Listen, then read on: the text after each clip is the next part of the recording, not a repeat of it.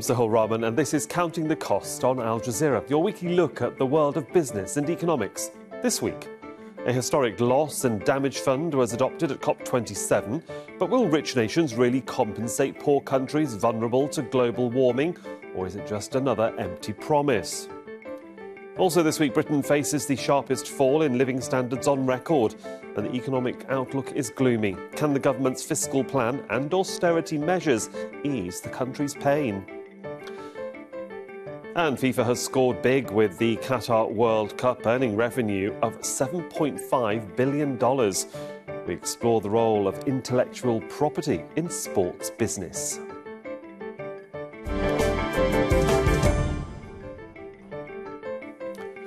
Welcome to the programme. It was one of the most contentious issues at the COP27 summit. Wealthy nations have long refused to compensate poor countries struggling to cope with the effects of climate change, fearing legal liability. But after more than three decades, diplomats from around 200 nations made a breakthrough and agreed to establish a loss and damage fund. The deal was a big win for vulnerable nations who bear the brunt of flooding and droughts, despite contributing far less comparatively to the carbon emissions that are causing global warming. Well, the fund would include contributions from developed nations and other public and private sources, like the international financial institutions. But full details of how it'll work and which countries will pay still need to be hashed out at next year's climate talks. And despite the breakthrough on climate finance, the summit failed to deliver on phasing out the use of fossil fuels. Madagascar is one of the world's poorest countries that's been ravaged by drought and successive cyclones and tropical storms. The UN has called the country's famine the world's first disaster induced by climate change. But many people disagree with that assessment, blaming poverty and poor governance instead. Nick Clark reports now from Errada in southern Madagascar. When crops consistently fail, you take what you can find. Who cares if normally only cattle eat cactus? And boiled up, it fills a gap for a while. The village is in a very bad situation. No food, no water. That is the biggest issue in this region. We need help to solve this because people are living on cactus. That's all there is. In the regional capital of Ambovombe, a woman has brought her seven-month-old daughter to hospital after she became seriously ill with diarrhea and vomiting.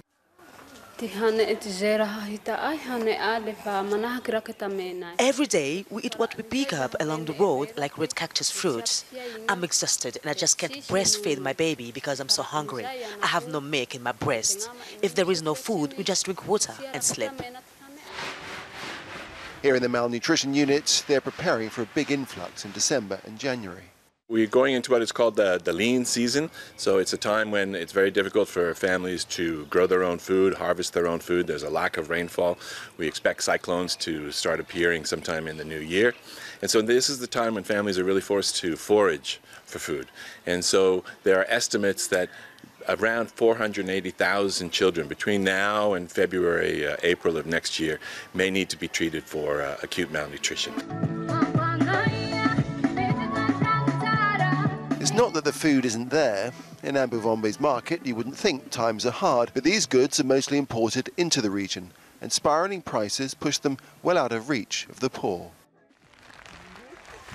Hundreds of thousands across Madagascar depend on outside support from the likes of WaterAid and the World Food Programme. Here, the government is delivering fertiliser and seeds to farmers, and they need all the help they can get. But if there's no rain, no amount of fertiliser will help. Now, the UN called the famine here back in 2021 the first famine caused in the world solely by climate change. But a lot of people disagree with that. They say it's down to poor governance and to poverty. The truth, I think, it's a combination of all three. Climate change that's wreaking havoc around the world, causing devastation here in Madagascar, poverty, 90% of Madagascans live in poverty, and poor governance inside and outside the country. For the people, though, it's all irrelevant. For them, these times are simply known as kere, the hunger. To discuss all of this, I'm joined now from Rotterdam in the Netherlands by Patrick Verkooijen. Patrick is the Chief Executive Officer of the Global Centre on Adaptation. Good to have you with us uh, on Counting the Cost. Developing countries have been fighting, what, for nearly three decades now. What change has happened to allow this situation to evolve right now?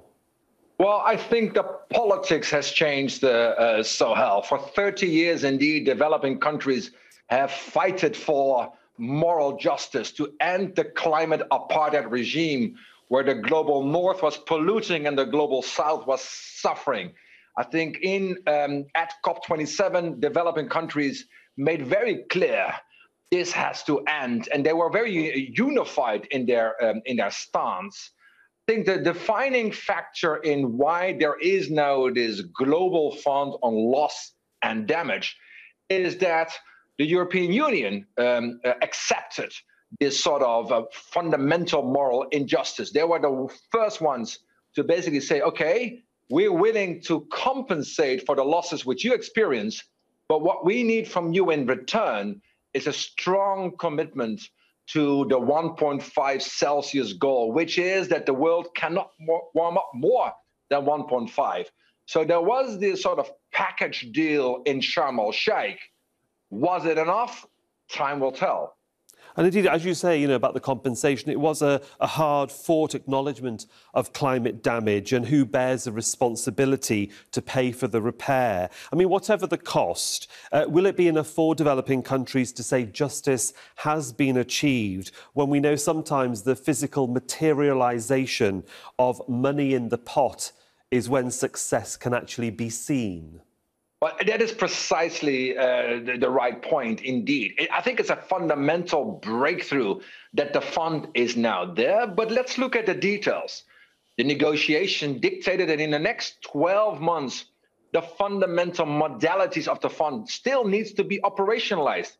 How much money? Who pays? Where is the money going to come to? I mean, that's all still up for grabs, so to say, as part of the next 12 months conversation but that we have a fund right now is basically a matter of trust. In a sense, the global north have now promised to deliver this. But as you said, in reality, in the last years, we also have seen that the global north is not really reliable in delivering what they have promised before. Take the Paris Agreement commitment. The global north had promised $100 billion a year flowing from the north to the south. How much is flowing today?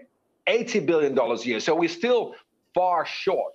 And I'm not necessarily optimistic, uh, quite frankly, in this regard, uh, Sohail, that this money will flow, at least that it will flow at the scale required, but also it will flow at the speed which is really determined by the climate crisis. It's funny you should talk about sort of who pays and who benefits because that in, indeed has also been a controversial issue uh, as well because China is considered for example as a developing country will countries eventually agree on that or as to who will end up uh, benefiting from it because, of course, Oxford University researcher uh, Benito Muller uh, said it might just be what he describes as a placebo fund. Well, well, let's zoom out for a little bit. I mean, what have we seen in the last 10 years? Another fund was uh, negotiated, was announced with big fanfare. 20 years ago, the Adaptation Fund was being put on the table, requested, demanded by the developing nations. They say, you know what, we're suffering. Someone needs to pay up for the adaptation cost in infrastructure, in food security, um, in youth and jobs. Well, how much money has been put on the table in the last 20 years in total? Under $1 billion a year. But that's, of course, a big number. But what are the needs for the developing world? Just Africa alone needs $52 billion a year. So there are funds already in the UN system, which were fought for for many, many years, which were agreed to for many, many years, but which are underfunded. Okay, big pa- risk Patrick, now can I, can I just jump the, in there, yeah. Patrick, then? Because if we talk Please. about UN funds, how, how influential are the international financial institutions that are also now, in theory, going to be contributors to, contributors to this? How do they change that equation? Well, that was one of the sort of the breakthrough moments, the, the real historical uh, outcome of um, COP27, the climate summit in Egypt, was that for the first time, the multilateral development banks, the World Bank, the African Development Bank, the Asian Development Bank, and the IMF were front and center. What did parties agree to? They need reform. Why? Because climate risk translates into financial risk, into macroeconomic risk. So they now is an agreement that the World Bank will reform its business model, that it will not just be traditional development, but climate smart development, which means that every dollar, every euro which goes from the World Bank into the field will now have this climate lens provided to it at the end of the day, uh, um, it is not about the millions on the table. At the end of the day, it's quite frankly not even about the billions on the table. It's about shifting the trillions. And for that, the finance institutions which we have designed since the Second World War need to become fit for purpose. World Bank needs okay. to become fit for purpose for the challenges of today. And that was one of the fundamental outcomes of COP27. Uh, Patrick, very briefly then, yes, if in, in an ideal world that the finances would work in a way that could help developing countries and, and continents like Africa and parts of Asia, but then you also have those issues of conflict, and we're seeing now, obviously, Ukraine and Russia and how that's impacting not just on Europe but on the rest of the world. So therefore, Germany, for example, is now burning more coal. Britain is talking about it. These are when you might say a spanner is thrown thrown into the cogs, the wheel of development uh, and sustainability. You, nobody can predict it, but it does happen, doesn't it? How long do you think it's going to take for, you might say, the world to readjust if and when peace is declared between Russia and Ukraine? Yeah, so and indeed, what we see now is these fundamental system shocks. You mentioned Ukraine, but let also not forget the recovery uh, from COVID, which still is hampering many economies across the, uh, the globe. And on top of that, there is the climate crisis. What for me is fundamental is to realize we can talk about reparation, recovery, but would it not be better to put our investment, particularly in the low carbon pathway, to stick to the mitigation targets which we have promised since 2015. That was, in my world, a big loss from Sharm el Sheikh. We didn't really increase our ambition. What we promised last year, we would increase our uh, ambition to reduce our carbon footprint. We didn't deliver. What we did deliver is a fund without money in it. I mean, is that enough? Certainly it isn't. On your question in terms of how long will it take? Well, obviously, the conflict of Ukraine will lead to even more fiscal constraints. But at the same time, it's not just government resources what will have to come up and put on the table for the climate recovery. It is particularly mm. the private sector needs to come in. Patrick Verkooijen uh, from the Global Centre on Adaptation, joining us from Rotterdam. Thanks for joining us on Counting the Cost. Thank you very much indeed. Now, Britain's economy is in recession that's expected to push half a million people out of work and it's forecast to shrink even further next year. The bleak outlook comes as the country battles decades high inflation, eroding incomes for millions of people, and now Britons will have to tighten their belts even further. The government wants to balance its public finances and has announced a $66 billion fiscal plan, which includes tax increases and public spending cuts. The plan means that more British people will pay higher rates of income tax and higher energy bills. It also includes a substantial increase to windfall taxes on the profits of oil and gas companies and additional investment in schools and the National Health Service. However, big reductions in public spending were pushed back until after the next election in two years. Jeremy Hunt, the British Chancellor's plan could inflict more pain on millions of British people who face the biggest hit to living standards since records began. The Office for Budget Responsibility predicts household incomes to drop by the most in six decades, down by 7% over the next two years. That's worse than what the government spending watchdog had forecast in March. The fall would wipe out the past eight years of improvements in incomes as the rising cost of living eats into wages. That'll effectively turn the clock back to 2013. To discuss the impact of the fiscal plan on the British people and what it means for the country's finances, I'm joined now from London by Patrick Perrett Green. Patrick is the Chief Executive Officer at PPG Macro. Good to have you with us uh, on counting the cost, uh, Patrick. I mean, the Prime Minister has set out a very bleak economic forecast uh, that he's presented to the nation and partly blamed it on the fallout after the pandemic and the war in Ukraine. How justifiably can he continue to use these issues as an excuse for the woes that the United Kingdom ex- is experiencing right now? Well, I, I, think it's really quite legitimate. I mean, both, I you know, both are wartime events. I mean, I mean, requiring sort of the sort of actions one requires during war of you know, significant government action. And we shouldn't forget that many other economies are suffering similar difficulties. Um, he's probably overlaid the grimness um, as a deliberate tactic to sort of overcompensate for that brief nightmare of um, what I call the cluster truss. And um, so it's it's it's if you it's sort of a game of mm. make everything grim hopefully things can be better. Well, let's talk about that Liz Truss scenario and obviously Jeremy Hunt's opinion of the country's finances and how to uh, better the United Kingdom financially are very different to what Liz Truss had proposed with her former Chancellor as well. I mean, how much of these proposals that we're hearing now are a repair job and how much uh, of it is there to reassure investors that they should be putting their money in the UK and not to worry, there won't be any more policy U turns?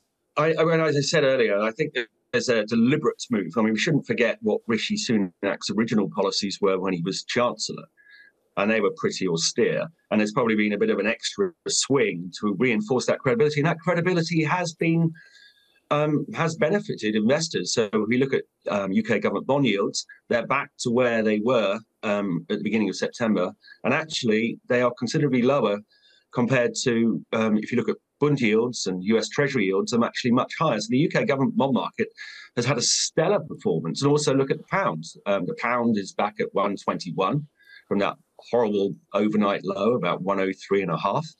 And actually, the UK equity market is one of the few major global stock markets that is up year to date. So investors seem to actually really love the credibility of the government. I mean, you just talked about the fact that Rishi Sunak's uh, opinion before, uh, as he was when he was Chancellor, was austere, and that Jeremy Hunt's actions have made the country say, further into the sort of austerity bracket. I mean, what's your opinion now about the way that the, the government is talking about budget holes, uh, increased taxes, and spending cuts? I mean, what sort of noises are you hearing from your colleagues in the financial industry about well, whether this really is the right balance? I mean, certainly as far as the electorate's concerned, I mean, obviously the Tories are in, in bad shape in terms of the polls, but actually the electorate likes the truth, and actually they're probably overdone the downside, I think. And for example, like earlier on this week, we had the latest borrowing numbers. They were much, much lower than was forecast, about seven billion pounds lower in the month of October. So um, there is fiscal room there. I mean, I, and I think over time we'll see less austerity. And there are various technical factors of why the. I, mean, it, it, I, I don't really go for this story about the budget hole. A, a, lot of it is sort of balance sheet related because so much of, of the debt is of our debt, 25% of our debt is inflation bonds.